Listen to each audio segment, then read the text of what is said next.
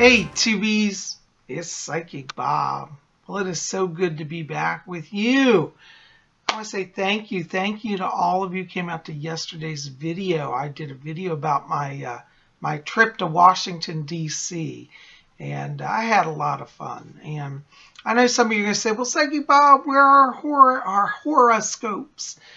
Well, let me tell you what's been going on. Psychic Bob's had some drama in his home the last few days. Um, we had uh, yesterday our water and our electric were shut off for the whole day. So that's why I ended up going to DC because I couldn't film videos um, and I couldn't stay in the house. I had no air, no fan, nothing. Uh, so it's really crazy. So that's why I ended up not being able to do horoscopes. Well, that was supposed to be fixed. And I got home from DC last night. By the way, some of you wrote and said, gosh, it looks like you were awful hot in the video. It was sweltering. Any of you ever been ever been to DC in the summer? It is definitely, I think, one of the hottest cities on the East Coast of the United States. It's just it's a swamp. It used to be a swampland, so it's very kind of subtropical in the summer, and uh, it was hot. Well, you can imagine my my uh, you know drama when I got home. By the way, I started to get a little heat sick, and you know if you'll see in that video towards the end, I look a little tired and a little flushed. I really was feeling a little heat sick. Even though I was drinking water, I just think it was, it was just too hot. And I hadn't gotten used to the heat yet. Over in DC, you know, that's all open. There's no real shelter from the heat unless you're inside a museum. Uh, but I had to go up and down the mall to get to the museum, so I was really out baking under the sun a lot. Anyways, you can imagine how fun last night was. When I got home, uh, and, you know, I uploaded the video and I thought, God, you know, I'm so hot. I'm going to go take a shower. Only to find out that our water was shut off again. water was fixed supposedly yesterday, and then it got shut off again in the evening. So I was not able to take a shower, which is horrific after you've been out baking all day in, a, you know, near 100 degree weather. Well, the heat got to me, and I was just not feeling good. And so anyways, I ended up going to bed. Got up this morning, got notification that they were going to turn off the heat and or turn off the electric and the water. So I had no day. I've had no water, no heat. I was able to get a shower just briefly before they turned it off. Then I've been out of the house all day. So it's been a little hectic, and Psychic Bob's a little behind schedule. I want to say thank you to all of you who've been patient. I um, I had to cancel a number of readings today uh, because um, you know, the electric problem, the water problem. I just wasn't able to, uh, you know, get ready to do anything. I ran out of power. I, I, was not able to work today, basically. So don't worry, we'll get you all back on the schedule. Okay, Psychic Bob didn't forget you. I thank you for your understanding and your patience. Anyways, well, here we are. It's Tuesday. And by the way, for those of you who do want to get on my schedule, if you send me an email to readings at robert-hickman.com, I'll get that and then we'll get you on the schedule, okay? All right, so we're going to do messages from the spirit world. I want to say thank you to all of you who've been watching and writing. By the way, messages from the spirit world is free. There is no charge for this. Uh, so if you want to be on messages, put your question in the comment box below this video, or if you don't want to do that, you can write to me at readings at robert-hickman.com, okay? We'll get to letter.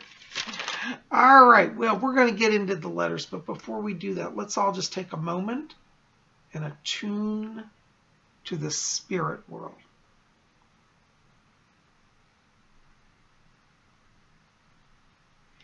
Okay, I hear my spirit guide Fletcher back here. He says hello. All right, our first letter today is from Stargate One. Oh, that's a good name. Stargate it says, uh, Great videos, Bob. Uh, can you make a video on why some of us see the same numbers over and over, like 111, 222, 333, 444, 555? Um, is this something from the higher self, or is it all just meaningless? Hi, Stargate. That's a really, really good question. Um, I think that is going to require a, definitely a full video. There's a lot to that question. It's a very intense question. But um, just to give you a little insight today, um, I believe, and it's my experience, that when you see a repeating number, it is a message from the spirit world many times. Um, the spirit world likes to manipulate objects, people, places, things to get our attention. So when they put a repeating number in front of you over and over, you keep seeing 555. You know, you look at the clock, it's 555. You go somewhere and you look up, it's 555. And it's like it just keeps happening over and over. I do believe there's a message in that. Um, so when you say, is this something coming from the higher self? I, I think it's from both. It's from the spirit world, the spirit guides draw us to that.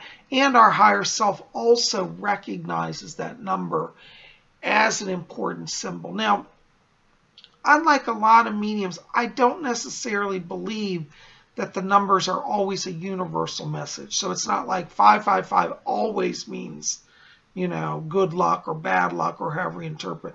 I believe it's unique to the person. And so when you see that number, it's also a sign to know yourself. And as you know yourself, you will understand the message. So definitely working with the higher self is important. And I think if you spend time in a reflective meditation, when the numbers come, they will also kind of, in a sense, whisper to you their meanings, you see. So, um, no, I do think there is a meaning. Uh, I do think it's connected to the higher self. So it is not meaningless. It's not just random. Um, you know, it's interesting. The more scientists study the universe, they're discovering more and more that there are patterns and an order to the cosmos, even on the molecular level. And so the repeating numbers, I think, are kind of part of that cosmic reality. So yes, there is a connection. Um, anyways, I'm going to do another video soon on that, so definitely keep watching. We'll go into more details about the numbers mean because it's very complex. But to answer your question in a nutshell, uh, yes, it has a meaning and uh, you can learn what that meaning is. And we'll we'll have a video on that. Uh, I think that we'll do that. Probably won't be till next week, but uh, definitely check back here. Okay. Thanks for writing. All right, our next letter is from the Nothingness Chronicles. That is such a unique name. Um, they were they say, Bob, I want to know if my spirit guides have any messages for me. Okay, and um, what would be a good time for me to start something new? Good questions. Well, you know, I have to tell you, um, I keep picking up around you. It's interesting. You got a lot of purple light around you, which tells me that you are getting a lot of presence, spirit presences around you. And I keep getting the name Theodore or Ted around you. And it's interesting, when I see him in profile, he looks like he's in a military, like a World War II uniform. Uh, but I keep hearing Ted saying, he said, I'm pushing them to be braver. I'm pushing them to be braver. So um, you're at a crossroads energetically right now where you're starting to claim your power. And I really see for you as we get into around August of this year, a real sense of freedom. I feel this is a time of crossroads for you. And Ted seems to be saying like you're you're breaking into a new path. I feel this is a time that may have a career elements like training for a career or launching into a new career area. And I feel like in your area, you know, particularly you have a lot of creative energy, particularly in the writing area. So I want you to ask your spirit guide, whose name is Ted, to help you with some writing. I feel like you may be in a position this summer where it's almost like you write um, something that gets published, or it might be like working with a company where you write press releases, but you're doing something in the communications area. Uh, in terms of starting something new, I feel like August is really your power month this year. That's where everything starts to open, and I think that continues into the fall. Okay. Hope that helps a little bit. Thanks for writing. All right. Um, our next letter is from Anna Magana. Hello, Anna. Anna Magana writes and says, um, Dear Bob, I just found out that my mother is having an affair. Will that relationship last? I am so hurt by this. I never saw it coming. Um, I don't want to be around her. I'm so full of anger. Please help me. Oh, and I'm so sorry, hon. Um, you know, first of all, it's very upsetting when we see a parent act out in a form of betrayal. A betrayal against your father, a betrayal against your family, a betrayal against honor. So this is difficult. Um, in terms of that relationship lasting, I don't see it lasting. Um, what they show me is interesting around your mother. Your mother is very lonely for some reason. Um, and I'm not saying this to put blame on anybody or judge anybody, but I feel that for some reason she feels that she's disconnected from her own self and from the family. Not saying you caused it, but her own perception of herself is actually rather low. And I feel like this affair started because this person that she's involved with gave her recognition or gave her praise. Um, I can understand when you say you don't want to be around her. Um, and it's probably best you keep your distance now because when you have that much anger, you could say things that would be very devastating. And even though you might feel entitled, you have to remember she's a person on her journey and she's going to do her own thing. And we can't always help make people do what we want them to do. Now, you and I know that that affair is not a good situation. I'll be honest with you, I do feel that the person that she's involved with actually has true feelings for her. I don't think it's just a, a con man or a game or somebody just playing around with her emotions. I do feel the person has sincere intent. Um, however, this person has crossed a line, a boundary, by going after a married woman. So their intent, no matter what it is, in my opinion, is simply wrong. Um, you know how I want to help you? I want you to, first of all, understand that you don't have to deal with this all on your own, okay? You have a lot of spirit people that are going to help you. I want you to call upon Archangel Michael to be a guardian for you and for your mother. Archangel Michael carries a sword, and his sword brings truth and wisdom to people. And so if you invoke him and say, put your sword in front of my mother that she will awaken, you're bringing in higher power. See, when we see somebody going into such error as your mother is, um, we don't have to fix that, but we can call on higher power to fix it. Uh, so the best thing you can do right now is bite your tongue and invoke a higher power. Let them bring her awareness to herself. As I said, your mother does feel isolated for some reason. I feel, and that's not about you, it's just something she feels inside of herself. And I don't think you can fix that. But I do know that Archangel Michael can help her realize that she's crossed over a line she shouldn't cross. You know, you know, when it comes to adultery, I'm very old fashioned and very, um, I'm very intolerant of that. I don't, I feel that you're either going to be married or don't be married, but I don't tolerate this affair stuff. I, I think it hurts too many people. I don't think it's of the spirit. Um, you know, if she wants to leave and be single, then she needs to make that choice. But at this point, carrying on an affair isn't helping her. So that's my, my view on it. And I want you also to get a red candle and you light that. And I want you every day to take your anger and dump it into the candle and say, Saint Michael, take this. Help me burn it up in the red of this candle and let me be free from judgment. Let me be free from anger. And Saint Michael will help you, okay? Hope that helps out. You got my prayers always, okay? Thanks for writing. Blessings to you. All right, our next letter is from Arizona Outdoor Survival. That's a good name. Well, y'all have such creative channel names. I love that. And they were, said, Brother Bob, um, what colors do you see around me in my aura? Um, and what do you see me doing? Hi, Arizona. Um, you know, around you, you've got a lot of beautiful colors. You've got some orange, you've got a lot of blue, and some some gold light here. Um, you have a communicator theme, uh, and you also have a, an artist theme on your chart. Um, I keep seeing a media connection around you. I feel that you want to take your hobby. I know you like to go out into the, the wilderness, but I feel that you have a lot of knowledge about wilderness stuff that would actually be helpful to people. And I think you want to parlay that into some media work. Uh, put together a TV show, try to get it picked up. I really feel like uh, if you started that this summer um, in early 2018, you'd be able to get some production support.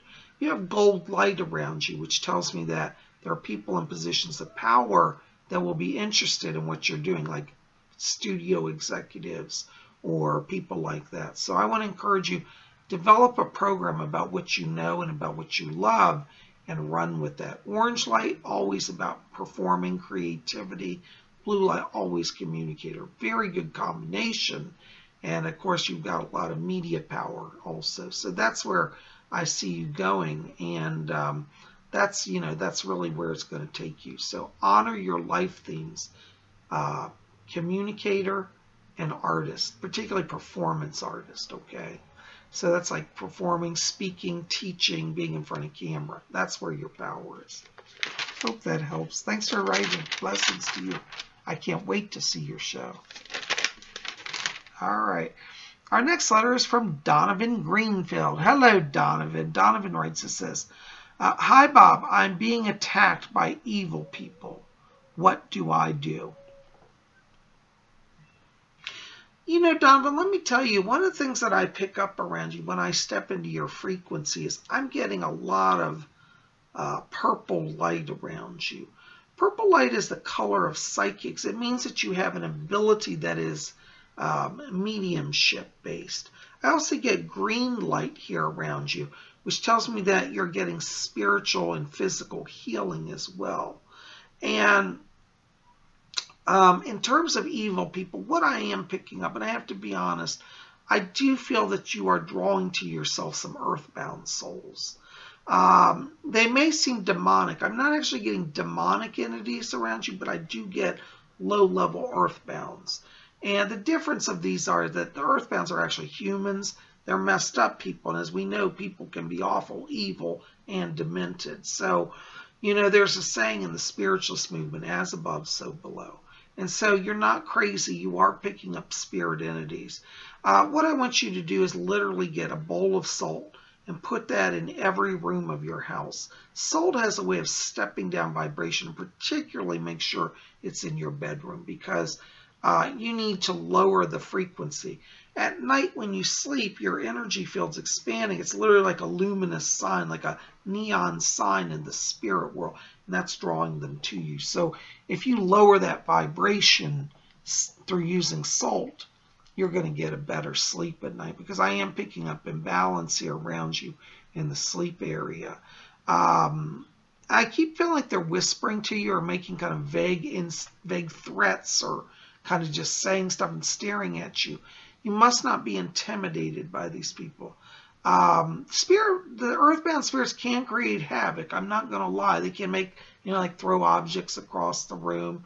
But it takes so much energy for them to manifest that really, um, you know, don't don't give them power. Don't talk to them. Don't engage with them except to say, you have to leave out of my house. Put salt around your room. You might even get a few bowls of salt and put it around the bed at night. Um, this will go a long way into helping you. And I also want you to stop and to pray. You know, when we call in divine power, however you call the divine God, Father, Mother, Great Spirit, whatever you call the divine, call that power and ask it to be with you. Because prayer really does bring light to our spirit and it protects us. So I want you to start with that and uh, let's see how that goes, okay? We'll be in touch. Thank you for writing. Blessings to you. All right, our next letter is from Mysterious 1111. And Mysterious writes this, is, Hi, Bob. Uh, my name is Misty. Hi, Misty. Thanks for being here. Misty writes says, uh, on May 2nd, uh, my 23-year-old cousin uh, was hit by a truck on his motorcycle. Oh. Uh, he was in a coma for days but he passed away. I'm so sorry, darling. Saturday was his memorial. Um, was he there? And does he have any messages for his mom, fiance, or family? Hi, mysterious. First of all, hon, let me let me just give you a big hug from spirit. I am so very sad to hear this.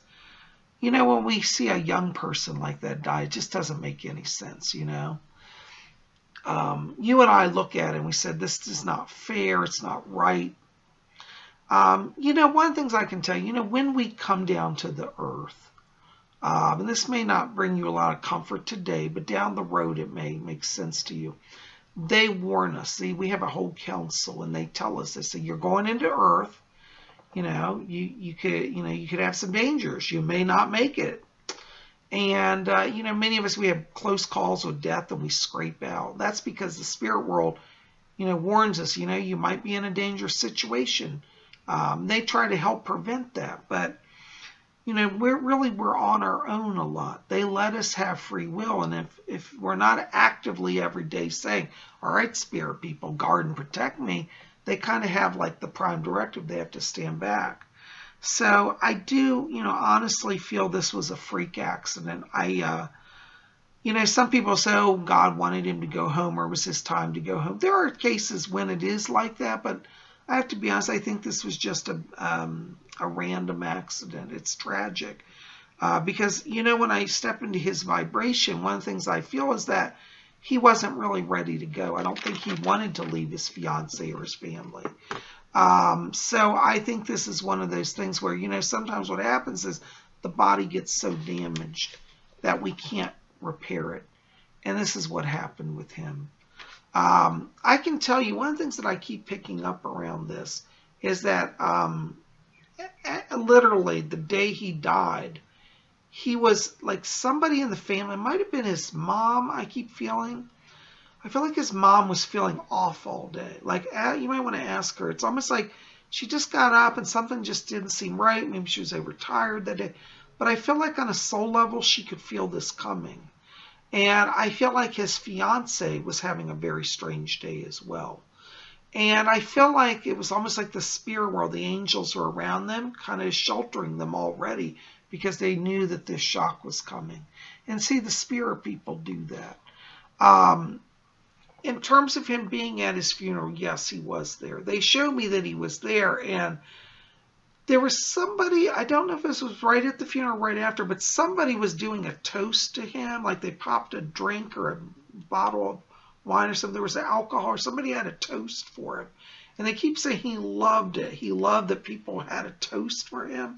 I don't know if that makes sense to you. You might want to ask about that. That may have been a little later. But I feel like around the time of his memorial, that day or the day after, there was somebody having a toast and there was alcohol there.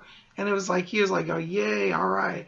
Uh, he is free of the body. Um, he has crossed over to the light. They show me that he's not earthbound. So that's a good thing. Um, and he has been visiting. Um, he's been mostly right now around his fiance, who seems to be literally paralyzed. And um, they're helping her. And I want you to pray for her. And I know you're suffering as well. But see, you're the strong one of the family. And sometimes some of us have to be the strong one.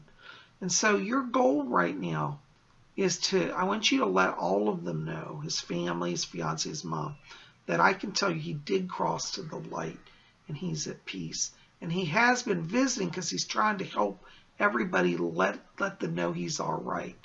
Um, I'm not feeling like they're getting a lot of signs from him right now, so tell them don't worry. As his energy gets stronger, he will manifest. And I feel it's going to be a few weeks yet. But uh, as we get a little later in the summer into July, I feel like there's going to be a, a clear understanding of his presence that he has survived. Um, I want them to watch their dreams. I do feel he's trying to come at night to communicate with them. So he's in the light. He's not in any pain here. Um, they show me that actually when he was in the coma, um, he had a choice. They told him if he stayed in the body, he would have had brain damage. He would have been kind of a vegetable, honestly. Um, and he didn't want to put his family through that. So he chose to leave the body uh, to be free of the pain, but to also be free of the burden. It was actually a sacrifice. He sacrificed himself so that others wouldn't have long term suffering. Um, this way, you know, in the spirit world, they show us all the options. And the family, he felt, would heal quicker if he would just go on rather than try to linger on in the body. Okay. I'm so sorry for your loss, and I'm I'm sending prayers honestly to all of you. And um, but let his fiance know that he is alive. Um, he has tried to visit her. Literally the day of his death, he literally was around. But it's like I felt like everybody just wasn't feeling it. Um, but they will get a sign very soon. And I keep feeling like he's manipulating I keep hearing radio. It's like every time somebody's in the car, I think it's fiance, maybe it's you, but I'm hearing the dial change. It's like they put the radio on. They're like, well, we're not even touching. Something's going on. That's him in the car. He's trying to let you guys know he's fine. Okay. Um, but he wants everybody to know he's in the light. They keep telling me. The Fletcher said he said he's at peace and he wants everybody to know he's at peace. That's his main concern. Okay. Hope that helps. Blessings to you. Thanks for writing. Oh my gosh, guys! So I tell you, I look at the time. I don't know where the day goes. Listen, that's all I've uh, time I've got today for messages. But I am so thankful you're here. Listen, put your questions in the box below, or write to me at readings at robert-hickman.com. We'll get you on for next week. But I'm so glad you're here. Listen, by the way, if you get a chance Stop over to my website and pick up some summer reading. We got wonderful books over there at robert-hickman.com. Once you enter the website, you'll see a tab up at the top says bookstore. You can pick up some books. You guys are the best. I love you. Thanks for being here. Thanks for your patience as I deal with all my electrical and water problems. hey, it's life in the big city. You guys are best. Thanks for being here. We'll see you here tomorrow. What's tomorrow? Wednesday, Wiccan Wednesday. We'll have something mystical. Be back here for that. We'll see you then. Until then, may you always blessed be.